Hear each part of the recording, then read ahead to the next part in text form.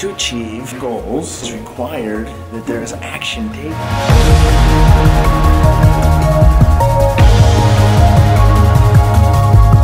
I working on a Saturday today? No, simple, because I have first quarter targets that I want to achieve, and it requires to get into action. Truth is, I always work. It's not that I work, work, work, because it doesn't seem like work to me. It's I do things that further me to hit my targets. Okay? And I could sit down and watch Game of Thrones all day long, or I could go create my own reality. What do you want to do?